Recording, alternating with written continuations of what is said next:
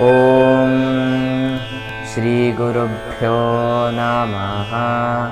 हरिः ॐ।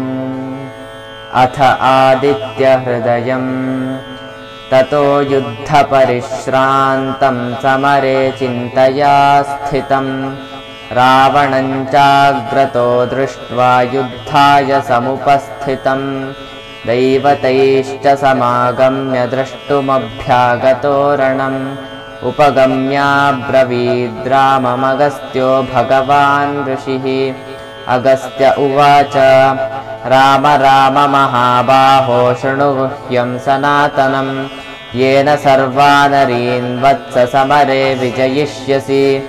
आदित्यहृदयं पुण्यं सर्वशत्रुविनाशनम्। जयावहं जपेन्नित्यम् अक्षय्यं परमं शिवम् सर्वमङ्गलमाङ्गल्यं सर्वपापप्रणाशनम् चिन्ताशोकप्रशमनम् आयुर्वर्धनमुत्तमम् रश्मिमन्तं समुद्यन्तं देवासुरनमस्कृतम् पूजयस्व विवस्वन्तं भास्करं भुवनेश्वरम् सर्वदेवात्मको ह्येषः तेजस्वी रश्मिभावनः एष देवासुरगणान् लोकान् पातिगभस्तिभिः। एष ब्रह्मा च विष्णुश्च शिवस्कन्दः प्रजापतिः। महेन्द्रोधनदः कालो यमः सोमो ह्यपाम्पतिः। पितरो वसवः साध्या ह्यश्विनौ मरुतो मनुः। वायुर्वह्निः प्रजा प्राणऋतुकर्ता प्रभाकरः आदित्यः सविता सूर्यः खगः पूषा गभस्तिमान् सुवर्णसदृशो भानुस्वर्णरेता दिवाकरः हरिदश्वः सहस्रार्चिः सप्त सप्तिर्मरीचिमान् तिमिरोन्मथनः शम्भुः कष्टामार्ताण्ड अंशुमान् हिरण्यगर्भः शिशिरस्तपनो भास्करो रविः अग्निगर्भोदितेः पुत्रः शङ्खः शिशिरनाशनः। व्योमनाथस्तमो भेदीरुग्यजुस्सामपारगः घनवृष्टिरपां मित्रो विन्ध्यवीति प्लवङ्गमः। आतपी मण्डली मृत्युः पिङ्गलः सर्वतापनः। कविर्विश्वो महातेजा रक्तः सर्वभवोद्भवः। नक्षत्रग्रहताराणामधिपो विश्वभावनः तेजसामपि तेजस्वी द्वादशात्मन्नमोऽस्तु ते। नमः पूर्वाय गिरये पश्चिमायाद्रये नमः। ज्योतिर्गणानां पतये दिनाधिपतये नमः। जयाय जय भद्राय हर्यश्वाय नमो नमः। नमो नमः सहस्रांशो आदित्याय नमो नमः।